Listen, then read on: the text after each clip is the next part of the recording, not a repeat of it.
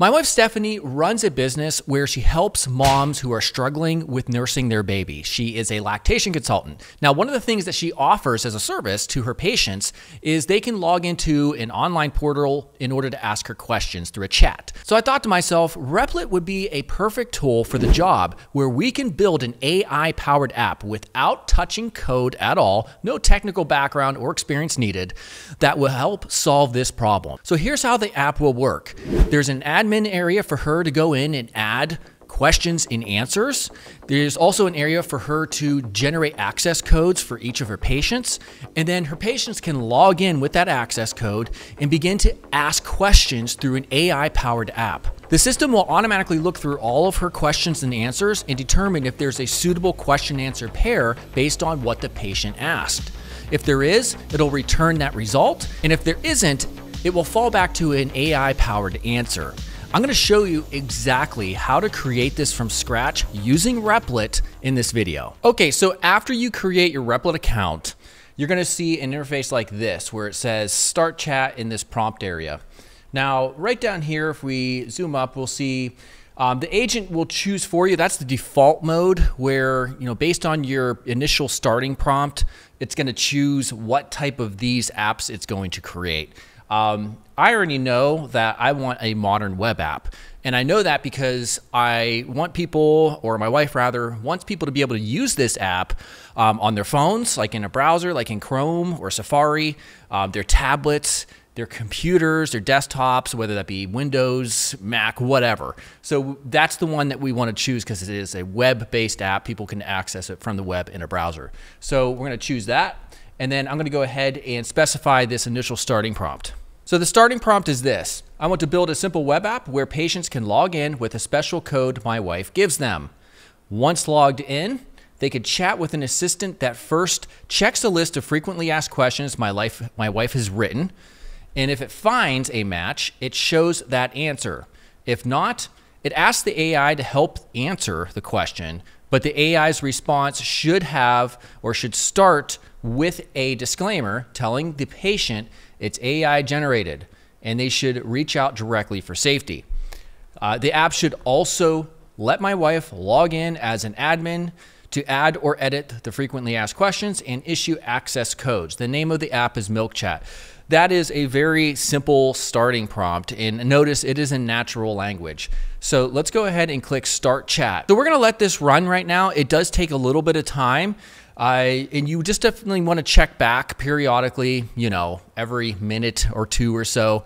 And you'll be surprised just how quickly it actually builds out a whole robust app because in the past, you'd have to be telling a developer what to do. You'd be waiting potentially weeks, if not months. And this will be a few minutes. Now it's going through all these steps here uh, where it says initial version.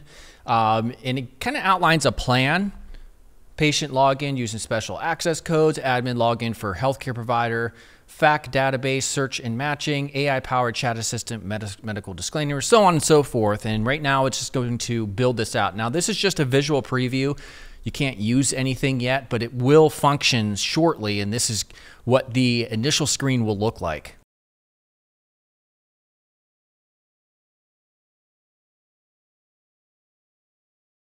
All right, here we are. It is done. It took about, I don't know, I want to say like five, six minutes or so.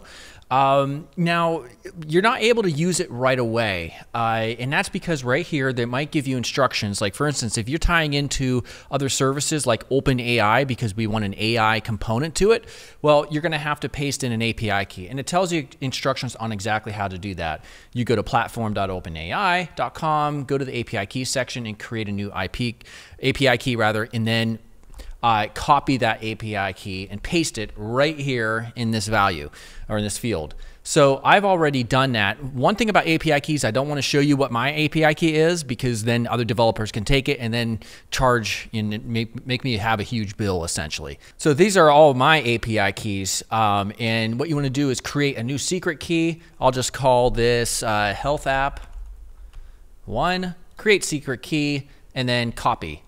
Then we're going to go back and paste that right in and then hit continue. So once you hit continue, it's going to restart the app because it now has the correct API key. So it can you know tie in with OpenAI, and then we're going to give it a test. So this is the part where uh, light might scare some people because when you test these apps out for the first time, I there may be issues. It may not work. Things may not look right. You might see errors, and it's just a matter of communicating those with the uh, platform right here in the chat in the agent chat. So let's first go ahead and take a look at you know any instructions that it has, and it's still currently working, by the way. Um, like for right here, says I uh, open API key is set up. Let me fix the LSP errors and then push the database schema to make sure everything's working properly. It noticed that there's some TypeScript errors. Again, this is stuff that if you're not a coder, you don't have to worry about at all. This is just it thinking and um, attempting to fix any type of errors that show up. Okay, let's go ahead and give it a shot. Um, I'm gonna try the healthcare provider login. It did ask me over here, would you like me to show you how to create your first admin account and access codes? Um, we have a register right here for the admin area. I'm assuming I just need to enter, you know, a name here, Stephanie Simon, enter an email, choose a username, and a password. Let's see if this work actually works. All right, so that did actually work. So we're logged in. If we click right here, um, that little button, we can just take a look at it in a completely new browser tab. And this is nice. This is a nice, just standard flat design. Everything's working well, or looks good at least at this point. So now what we can do, like right here, here's uh, where we can add a new FAQ. All right, so add FAQ right up here. Um, let's see here. Uh, how many times should a baby nurse through the night? All right, I'm just going to give a, an answer. My wife is not here with me. I'm, I'm going to say they should eat as much as they want. okay, um, I guess we can put it into categories and keywords. So this is interesting because I I didn't tell it to add categories. I didn't tell it to add keywords. You can tell it to remove these fields. You can say, hey, I don't want keywords. I don't want categories. I you can remove that and it will remove them. Um, I'm going to see if I can if these are required fields. Can I just simply click add FAQ? No. So these are required fields. I'm going to specify uh, feeding and then keywords. Okay, I don't have to specify a keyword. Okay, so that's the first one. And we can keep on adding FAQs here, you know, to really build up the database for all the frequently asked questions. But now we know this right here. I'm just going to copy this. And now we're going to go ahead, go back. Uh, let's go to access codes and create generate code. Patient name, uh, let's just say Clarissa. Let's generate the code. Ah, uh-oh. Now, like I said, this is one of those things where, uh-oh, there might be an issue. So if I hit Control Shift I, and we click on console right up here, this tells you if there's any errors. So the server responded with a status code of 400 bad request access codes. Okay, so what I'll do is just copy this and anticipate this happening because it's very rare for uh, an app um, of this complexity to one shot everything perfectly the first time. So you just have to work with it. We go back here. I'm going to say, I tried. Let me zoom up.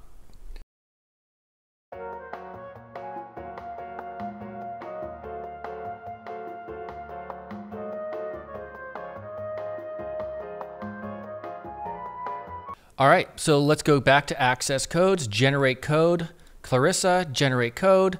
Ah, there we go. All right, so it has been created successfully.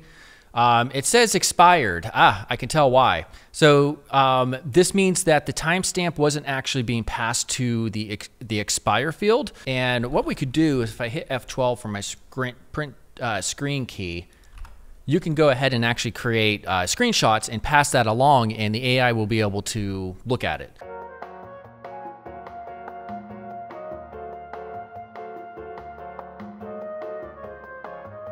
Okay, let's try it again. We're gonna do a generate code. This time, this will be Amy. Um, let's change the uh, date here.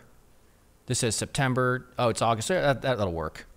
All right, so now this time it is active. See, we just debugged it. Awesome. So now what I'll do is copy this.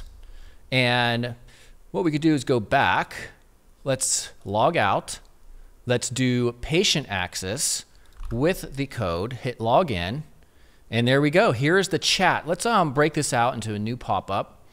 And this is what the chat looks like. Hello, I'm here to help answer your questions. I can provide information from our FAQ database or assist with AI-powered responses when needed.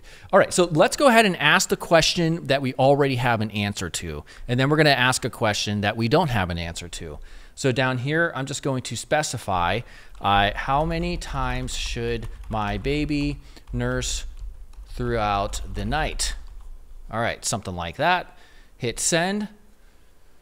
All right, so I was expecting this uh, because getting the AI to respond correctly usually takes a little bit of time, some back and forth um, with Replit.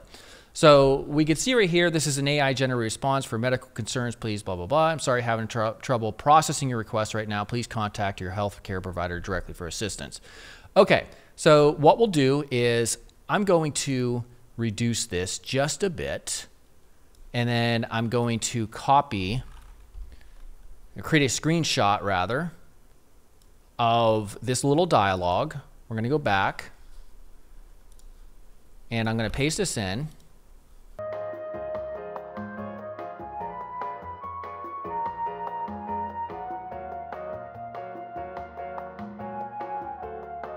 All right, I'm going to ask the same question and we're going to send it. they should eat as much as they want. There we go. Uh, so that works. Now let's ask a question that's not. Um, at what age should a baby wean?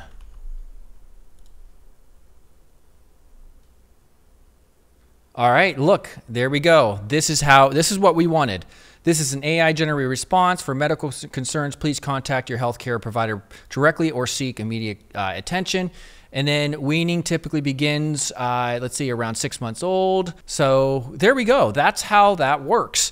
Uh, so now we can build out this entire system where we have all this, uh, all these frequently asked questions that get asked all the time and it's going to automatically provide her with Stephanie's approved answers. Otherwise, it'll fall back to an AI response with a disclaimer. That is awesome. So now if I go back, there's some other areas of what we can, you know, tinker around with this because obviously you may not like the design and maybe you want to replace things. So the way you do that is you click on like visual editor and when you click on that little icon right down here, you'll see that it when you hover over these things, it's it's what it's doing is it's selecting all the various HTML elements, the scaffolding, the skeleton. Um, and what it does is it passes that along as information or context. So for instance, this div element, let's say we want to have a picture of my wife right here instead of this little um, this little blue icon. Well, we click that, and what's really cool, by the way, is when you click it, it lets you change certain things, like the background color of it. Like I could change this maybe to this color. Look at that. It just automatically changes. You can change some other things too as well, um, you know, about the CSS styling. Or we can attach an image right there of my wife. And I'm going to say replace the chat icon div with a circular avatar image of my wife using this photo. Okay, let's choose add to queue and let's see what it does.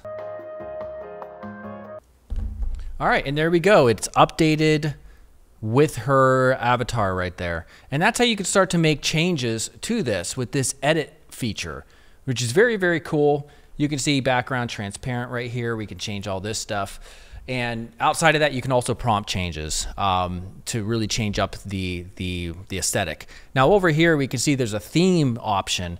This is where you can make really large changes um, to the general colors. Like for instance, the background color of this app is white. If we want it to be maybe just very slightly light blue, what we could do is bring this um, over here to the blue area. Maybe just a tad bit blue like that just barely. Maybe we like that. Uh, and it has a bunch of other things like you can change the typography, um, the, the, component section here that has different uh, CSS properties associated. You can see there's a lot of uh, you know customi customization options for this as much as possible. Um, we can also simulate different screen sizes, like what does this look like on iPhone 16 versus a Pixel 9 Pro, Samsung this, that, all that good stuff. And finally, the last thing, you know, after testing it thoroughly and going through it, is to deploy it. All right. So when you deploy it, it's going to become accessible on the web. And you have some options here in terms of machine power and compute. I'm just going to hit approve here. And by default, they do give you a subdomain. So it would be here. Let's just call this milkchat1 at or dot replit dot app. That would be the actual address. Um, build commands, I'm going to leave these all good, and we're just going to hit deploy. And that is it. So, really, really awesome. Now that just anybody with zero technical background, people unlike myself who've been doing this by hand for 25 plus years, can now create apps that are really niche specific needs for their business, like my wife. So, definitely check out Replit. is a really great no code AI builder for the modern era of really, you know, that's really going to just transform the SaaS landscape. A lot of SaaS companies are probably going to struggle a little bit now that people can create kind of like these personalized apps. So, as always, make sure to subscribe, and I will see you all very soon. Goodbye.